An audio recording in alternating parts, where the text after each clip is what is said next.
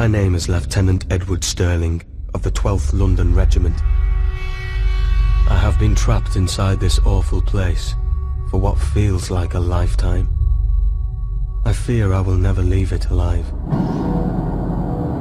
I write this for whatever man is next trapped in this prison. And I truly pity you, my friend.